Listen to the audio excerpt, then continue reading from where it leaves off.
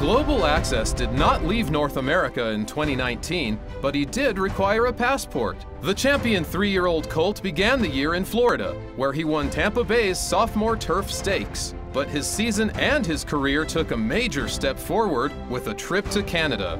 Racing on the all-weather surface, Global Access prevailed in a long drive to the wire for his first graded stakes win. After one more start north of the border, the Giant's Causeway Colt made an August visit to Saratoga. Like most visitors, he really enjoyed his stay. As they turn for home, here's good governance moving on the outside of Rinaldi. Power players down toward the inside. Global access in the center and seismic wave. Good governance trying to get there. Here comes global access on the outside. Rinaldi digs in. Good governance and global access. Global access has got it. Global access.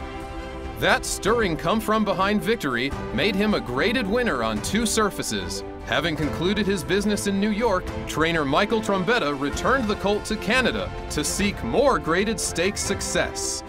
Global Access, Avie's Flatter on the inside, fighting on the rail to come back. But Global Access, the leader. Jungle Fighter is emerging now in the center and down the outside, Armistice Day. Global Access, Jungle Fighter at Armistice Day. Global Access, a terrific stretch drive, has got it won in the Ontario Derby by a length. That track record performance concluded his season with four stakes wins, which were achieved in three states and two countries. His earnings for the year totaled $337,733. Global Access is nominated for a Sovereign Award for his achievements in Canada. Breeder Live Oak Stud acquired Daveron, the dam of Global Access, in 2011. The mare also produced Grade 1 winner March to the Arch. Charlotte Weber also raced Global Access. He is the 16th Florida bred champion to wear the distinctive Live Oak Plantation colors. Global Access was the leading earner last year for trainer Mike Trombetta. 2019 was the highest grossing year of his 30 plus year career.